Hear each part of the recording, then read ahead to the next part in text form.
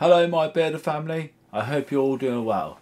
As you all know, I put most of my stuff on Facebook. And my other platforms haven't had much on over the last year.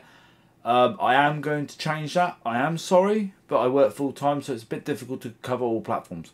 So, slowly but surely, I will start putting everything that I've been doing on Facebook on the other platforms soon. I love you all. Take care. Bye bye.